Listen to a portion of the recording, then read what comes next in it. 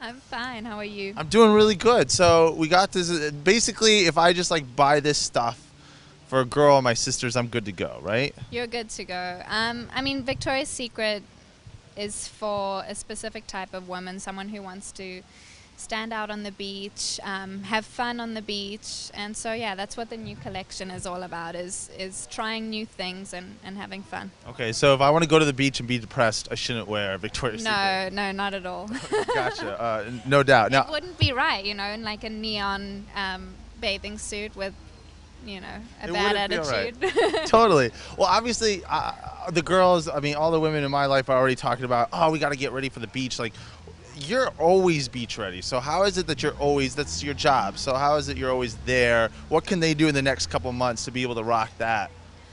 I mean, it's not. I was just saying that it's women kind of have this huge build up, like, oh, I've got a week to get be- beach ready. I think it's better to do it slowly, even if you do 10 minutes a day. Um, for us, it's different because we use our bodies every day to work, so that keeps me in shape as well.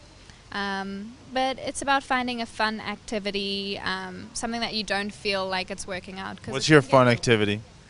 My fun activity is going out dancing or doing Zumba or I don't know, taking my dog out playing and Nice. yeah. That's good stuff. Okay, you're you're really tight with Rosie Huntington Whiteley, right? And uh, she stepped into the Hollywood fold with Transformers. What would be your ideal Hollywood role to step into once you made that transition? Um there's so many roles that I, I like I like it when it takes you to another time like Marie Antoinette kind of. Um, but I also like I think my perfect role would be something quite twisted and dark. and who who would be your co-star? Who would you want to work with opposite? Um, that's a tough question. Um, Rosie. I love you, Rose.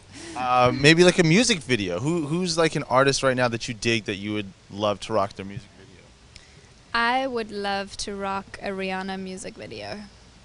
That is the truth. And she's stepping into fashion too. What do you think of her line? Have you seen her stuff? I haven't seen it yet, but she has good taste.